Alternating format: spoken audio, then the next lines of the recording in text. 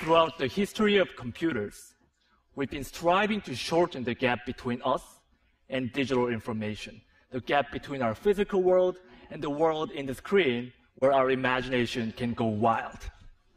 And this gap has become shorter, shorter, and even shorter. And now this gap is shortened down to less than a millimeter, the thickness of a touchscreen glass. And the power of computing has become accessible to everyone. But I wondered, what if there could be no boundary at all? I started to imagine what this would look like. First, I created this tool which penetrates into the digital space. So when you press it hard on the screen, it transfers its physical body into pixels. Designers can materialize their ideas directly in 3D. And surgeons can practice on virtual organs underneath the screen. So with this tool, this boundary has been broken. But our two hands still remain outside the screen. Then how can you reach inside and interact with the digital information using full dexterity of our hands? At Microsoft Applied Sciences, along with my mentor, Cati Boulanger, I redesigned the computer and turned a little space above the keyboard to a digital workspace. By combining a transparent display and depth cameras for sensing your fingers and face, now you can lift up your hands from the keyboard and reach inside this 3D space and grab pixels with your bare hands. Because Windows, Windows and files have the position in the real space, selecting them is as easy as grabbing a book off your shelf. Then you can flip through this book while highlighting the lines, words on the virtual touchpad below each floating window.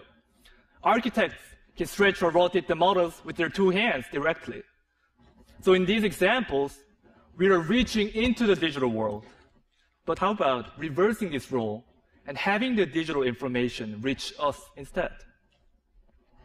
I'm sure many of us have the experience of buying and returning items online, but now you don't have to worry about it. What I got here is an online augmented fitting room.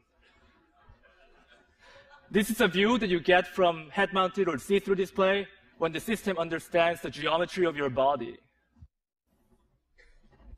Taking this idea further, I started to think, instead of just seeing these pixels in our space, how can we make it physical so that we can touch and feel it? What would such a future look like? At MIT Media Lab, along with my advisor Hiroshi Ishii and my collaborator Rehmi Post, we created this one physical pixel. Well, in this case, this spherical magnet acts like a 3D pixel in our space which means that both computers and people can move this object to anywhere within this little 3D space.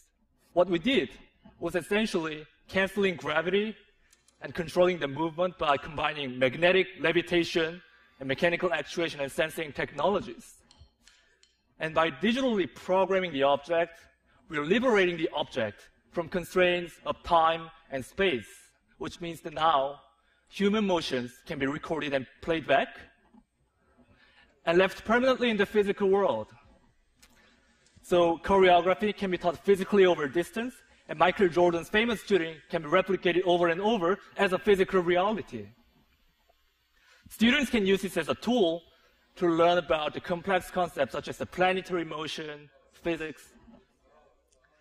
And unlike computer screens or textbooks, this is a real, tangible experience that you can touch and feel, and it's very powerful. And what's more exciting than just turning what's currently in the computer physical is to start imagining how programming the world will alter even our daily physical activities.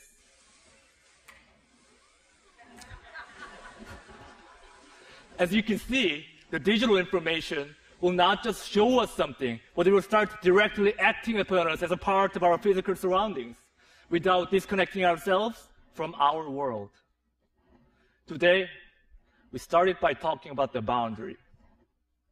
But if we remove this boundary, the only boundary left is our imagination. Thank you.